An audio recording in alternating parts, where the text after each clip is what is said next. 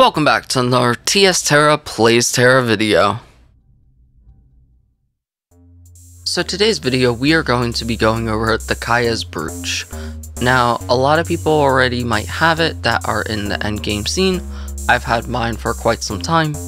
And yeah, today I want to take the time to go over the three different types of Kaia's Brooches, along with the ways to grind your brooch if you do not have it, or maybe you just want another brooch, because as I said, there's three types, and maybe you want to know how other people grind this brooch. Within that, I have mentioned that a lot of us already have it at the endgame level, so this is for more new players or intermediate advanced players that might not have their brooch just yet. Maybe they're confused which one to pick.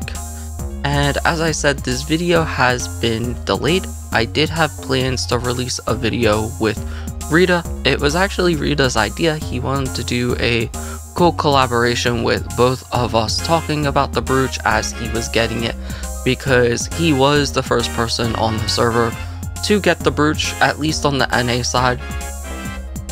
I can't speak for, you know, EU who got it first, but definitely I'm pretty sure Rita got the first on NA, which is super cool. And I am slightly bummed that I couldn't do the collab. That was the week I was super busy with DJing weddings and just doing live sound events. I, y'all probably noticed that there wasn't much content at all going on um, from me, and I do apologize. You know, work gets in the way sometimes, but Within that, don't worry, Rita and me have been talking about doing a really cool collaboration very soon. I'm actually doing it with quite a few players, and that release will be soon. But within that, um, like I said, this video I'm going to be going over the Kaia's Brooch, different ways to get it. One of the ways I will be covering is actually how Rita did get his and what him and I were talking about, as well as, you know, he talked about it in his video. So if you're not subscribed to Rita and you're watching me and you haven't, you know, seen anything of his content, definitely go in the description of this video. His whole channel will be linked. Um, he's such a cool guy. He's very nice. He's very sweet. He's a really good Reaper now. Back in the day, I remember he did a little things differently, but now he's he's pretty, really, really grown. And I'm really proud of running with Rita and you know, I'm excited for the future to come. So within that, like I said, definitely go check Rita out. Super, super cool dude. Are you a console gamer? Do you just love your controller? That you just so much can't live without your joysticks? Or maybe the buttons? Or just the way it feels in your hand? I know I am. I know for a solid few months, I was trying to get used to a good old, uh, keyboard and mouse, and I just couldn't do it. I was trying to play games like Tera, Final Fantasy XIV, and it just wasn't doing it for me. But let me tell you, you can get a program called REWASD right now that gives you full keyboard and mouse support while using your controller. Yes, this program allows you to map everything on your controller to your keyboard and mouse. So games like Dota or other games similar that have a somewhat controller support, even Tera PC has some support, but it's not very good. You'll get full support with the use of this program that you can just map it to everything, and that gives you full support. Or maybe you want to play a game like Valorant. Maybe you just love shooting games, but your inner console kid just can't get used to keyboard and mouse. Well, let me tell you, Valorant, from what I know, has no controller support yet. Within this program, you'll get 100% support because it just acts as you're using a keyboard, but your controller's telling your keyboard what to do. So look into getting REWASD if you want, in the description of this video, I have a basic package, or maybe you're someone who wants the full package, where you can get extra configurations, you can get full controller, advanced mapping support, or you can even get things like aim assist to help you shoot. Within that, thank you REWASD for sponsoring this video. Let's get back to it. So let's get into the video and I want to cover the Kaia's brooches now. To start off, they are part of your jewelry just like anything else.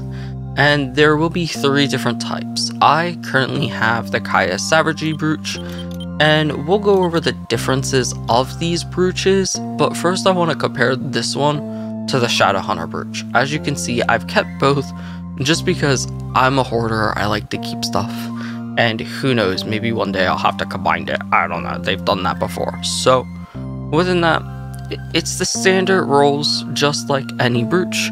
You have the two rolls you keep, and then the two rolls you pick. You can etch it. The attack modifier on the Kaias is 400, where the Shadow Hunter is Shadow Hunter, I apologize, is 381. The rolls are basically the same. They are the same.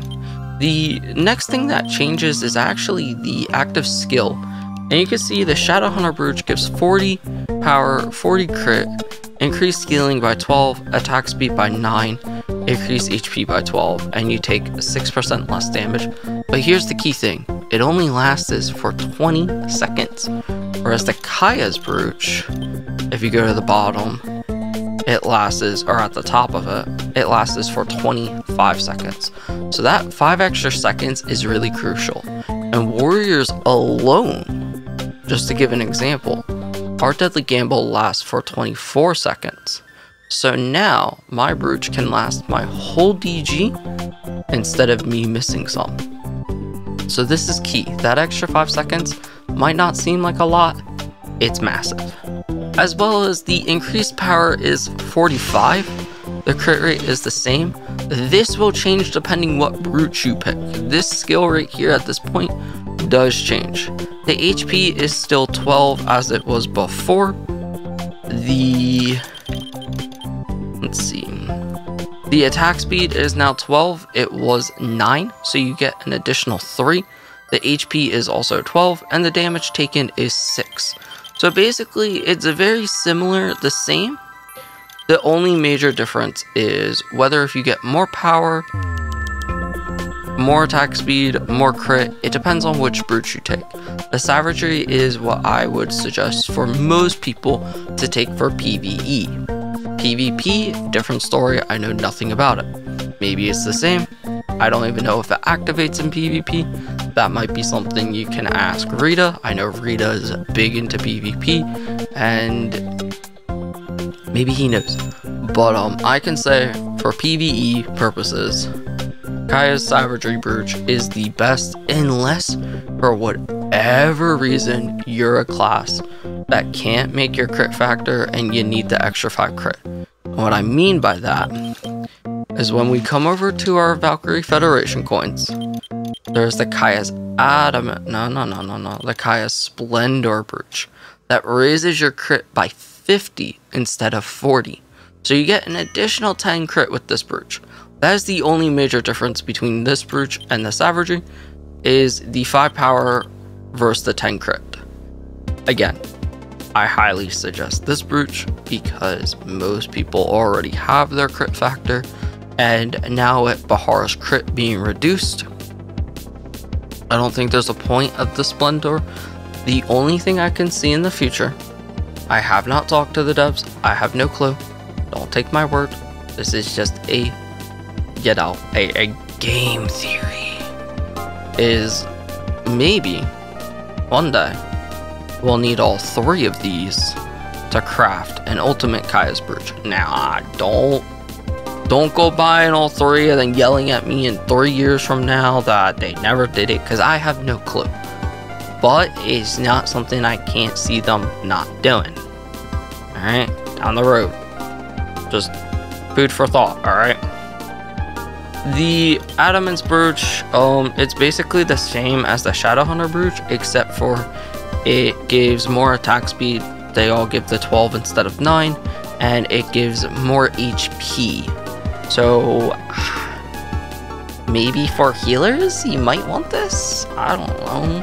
I don't see a reason to have 25 seconds of extra max HP maybe for PvP when you see a bunch of people coming running at you in like Fraywinds Canyon or something, this could be ideal. I don't know. Again, I don't PvP. I can't really see any reason to use this, but like I said, I've given my philosophies on these brooches. So, you might be wondering, dang Tara, 2,000, 2,000 coins to get a brooch is a lot. It is. Especially you can see I only have 300. Now, this is the part where I want to get into explaining how to get the Federation coins for anyone who doesn't know. You just clear content. Every time you clear something like Bahaar, you get 5 coins. You complete Velik Sanctuary Hard, you get 5 coins. Hey, if you're only able to run LK, just keep doing your LK and RGs, and eventually you will get there. It's not meant to be something you get in a day. It's not something you're meant to be get in a week. It took me maybe four weeks, give or take. And I believe Rita said in his video he grinded nonstop for 23 days, and that's how long it took him. So I really love the devs for making something like this. I think it's cool that we have materials that can't just be got in a week. And I think as most MMOs, you're not meant to be mid max in a day. So I respect the grind. Now you might be wondering, how did Rita get it in 23 days? Well, basically, Rita did what anyone should do. He ran his Bahaars, then Velik Sanctuary. At this time, AAHM was instance match only, and I believe he did his Grottos, which gave 4 coins, and he would do a Q, which gave 4 coins, and then if he couldn't instance match AA, he would run RM instead. RM normal, which gave three coins, and he just burned it so quickly that, you know, he capped out all of his vanguards every day to get the max amount of coins. And the biggest thing he said was he'd reset his Bahaar. He tried to run two sets of Bahaar, and if he couldn't, then he finished out anything left over with either AA or RM, depending on AAHM's queues. So nowadays, the grind would be, again, if you have Bahaar reset scrolls and you can run Bahaar, you would want to do two sets of Bahaar, Velik Sanctuary, AA, RK. Those will give you basically 15 Vanguards done, which leaves you with one extra Vanguard that you could go into anything that gives four tokens. Um, probably looking at doing Red Refuge hard or LK hard. And at that point, that's like equivalent of RM. Not only once a week do you get your 10 coins from the weekly, but I believe daily bonus 2 gives 5, daily bonus 3 either gives 5 or 10, so you make tons of coins. Now, like I said, that was Rita's method with resetting Bahaar and the selection. Realistically, it doesn't matter unless you want to get it as soon as possible, the most amount of coins you can get is by doing as many Bahaar sets a day that you can. If you're with a group that can wake up at like 8 in the morning and run a Bahaar set, reset, run another Bahaar set, wait 5 hours, reset, run a third Bahaar set, I want to say with reset scrolls, you can probably do 4 Bahaars in one day, which you can do the math four sets times three times five. That's how many coins you get. Literally, you can't beat that amount of coins. And then finish off with Velik Sanctuary. You're getting mid-max coins, but that that comes to resetting Bahaar so much. That's just, you know, not worth. Now, there is one final place that you can go to get coins. And this was added after Rita and I got our brooches. Uh, basically, a lot of people who at the end got their brooches, this was added. And that is that you can go to Velika. And there is a shopkeeper. I've mentioned this keeper in a previous video when I updated and talked about all the shops, all the changes to the game that came with the last update, and basically it is Mia. For anyone who doesn't remember, or maybe you're new to the channel and you haven't seen that video, I highly suggest going over because a lot of the changes are really, really useful especially if you're not mid-max, if you're not at endgame. Knowing about these shops is very useful as they have a lot of goodies, especially for new players. Basically, you come over to here in Velika and you talk to Mia. Now, I want to put a warning that I didn't put in the last video. And I've had people come to me going, hey, how did you talk to her? Like, I can't talk to her. You have to complete your the Federation quest line. If you don't have that started, you need to go down this hallway down here. And you gotta go down and talk to Seer and pick up the quest line. If you're wondering, I don't think I can fully show it because it's completed. Yeah, yeah, I'd have to go into a completed quest, and that's not an. Oh no, for Federation. So you would need to complete enemies of foreign and domestic. Basically, again, you'll go down, you'll talk to Seer, you'll then do your Guardian Legion quest line, which is very simple. You just complete a Guardian Legion mission. By the way, don't be stubborn, just complete it. You need those points to be able to buy this anyway.